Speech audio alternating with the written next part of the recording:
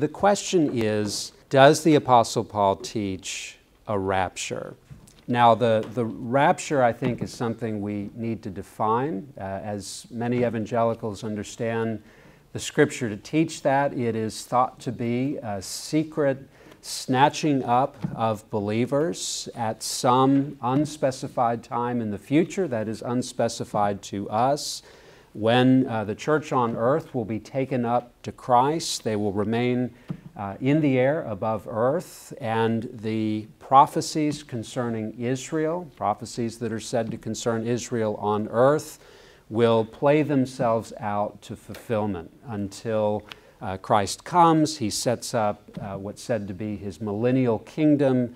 Uh, there's the great and final uh, battle, followed by the final judgment to come. That's a, a, fairly widespread understanding of the last things, and appeal is made to 1 Thessalonians chapter 4 at verse 17 to support uh, the portion of that scheme that I described in terms of the rapture. 1 Thessalonians 4:17, uh, reading out of the English Standard Version, then we who are alive, who are left, will be caught up together with them, that is the dead in Christ, in the clouds, to meet the Lord in the air, and so we will always be with the Lord. And our word rapture is taken from that verb which is translated will be caught up together. So, strictly speaking, yes, the Apostle Paul does teach a rapture, but does he teach a secret rapture according to premillennial eschatology? And I think the answer is no. When we look at this passage, what we see is that Paul is describing something that, far from being secret, is in fact quite public. Uh, you see that from a couple of details in the passage. Uh, there is Paul's statement that we will be caught up together with them in the clouds. Now, clouds, of course, is a way, particularly in the Old Testament, to describe the divine presence.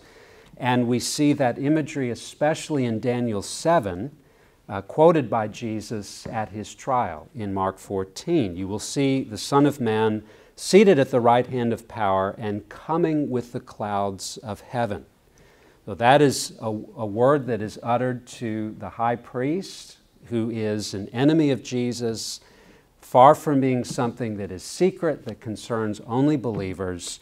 Uh, this appearance of the Son of Man in the clouds will be visible, will be public, and will be evident even to unbelievers. In the following verse, Paul says this will come with a cry of command, with the voice of an archangel, and with the sound of the trumpet of God. All of those are audible, visible phenomena, not things you would expect with a secret, private rapture. Further, the phrase the trumpet of God is used elsewhere by the Apostle Paul to signal the bodily resurrection and the final judgment.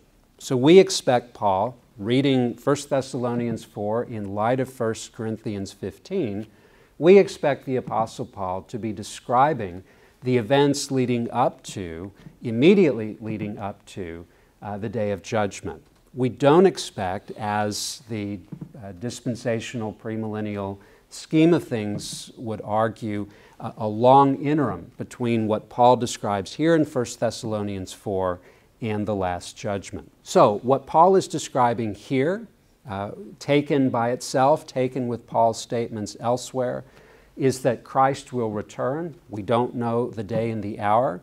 Uh, when he comes, we will meet him, and all human beings will be judged before Christ, in the presence of Christ, clothed in our resurrection bodies, some raised unto glory, others raised unto shame, and believers will be with Christ forever. And that's the hope that Paul set before the Thessalonians as they were uh, grieving, as they were confused, and that's the hope of God's people in every age in the church.